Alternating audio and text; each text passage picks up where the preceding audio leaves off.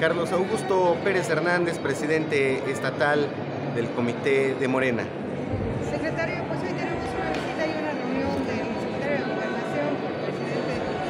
¿Qué nos puede comentar al respecto de todo este acercamiento y visita aquí a Tlaxcala?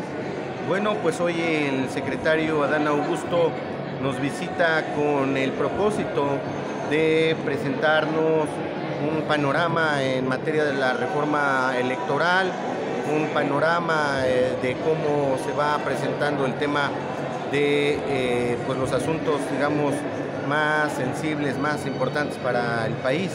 Y bueno, pues qué bueno que esté presentando este informe eh, hoy en el estado de Tlaxcala. Eso es bueno para que también los eh, militantes de Morena, ciudadanos, estén al tanto de lo que está pasando con esta reforma. Sí, definitivamente es un suceso muy relevante, muy importante que el secretario estuvo pues empujando eh, muy fuerte en la Cámara de Diputados, en la Cámara de Senadores y bueno pues eh, creo que este asunto está por definirse, así que pues es muy trascendental lo que vaya a acontecer, así que eh, es importante que los ciudadanos tengamos un panorama de lo que está ¿Qué sucediendo.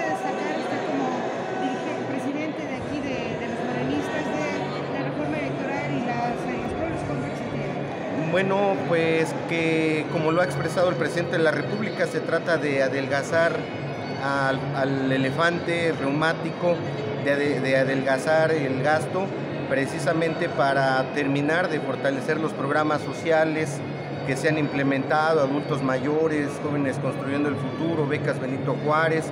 Y bueno, de ahí la importancia. Lamentamos que, pues en este caso, la oposición no esté a la altura de lo que reclama no solo el pueblo de México, sino también el pueblo tlaxcalteca. Dirigente, preguntarle con respeto, ¿cómo estarán coordinándose con las diferentes expresiones? Hace unos días vino la que está en pro de Marcelo para ganar la consulta de la Coordinación Nacional en los comités de defensa de la Cuarta Transformación, pero así también está la de Claudia y está la de Adán Augusto. ¿Cómo estará trabajando la dirigencia? Hay una apertura total. Hoy vimos que en la apertura del periodo ordinario de sesiones en la Cámara Federal, incluso se integró el senador eh, Monreal, se integró el, el diputado Gerardo Fernández Noroña, que ha expresado también su inquietud de participar. Y bueno, pues eso es una muestra de la apertura, de la inclusión, de la imparcialidad que tiene el Comité Nacional, el Comité Estatal. Y pues bienvenidas las diferentes expresiones. Nuestros estatutos de manera muy clara marcan cuál es el camino, los caminos, que será la encuesta, desde luego la aportación que han tenido al movimiento para que se determine si será una mujer o si será un varón el que nos represente en la continuidad del proyecto de nación que tenemos. Preguntarle también en este aspecto, eh, ¿cómo se estará llevando aquí en el caso de los que aspiren, los, los militantes tlaxcaltecas de Morena que quieran, no sé, parecer por alguna diputación federal? ¿Cómo estarían manejando? Es en los mismos términos, desde luego, encuesta. ah, repito, eh, hay también aquí imparcialidad, inclusión. eh, obviamente los mecanismos eh, ya están planteados dentro de nuestros estatutos en la pasada reforma nacional, en la pasada reunión de consejeros nacionales. Y bueno, pues eh, hay que demostrar que está uno bien en el ánimo del pueblo y también cuál ha sido la aportación al movimiento.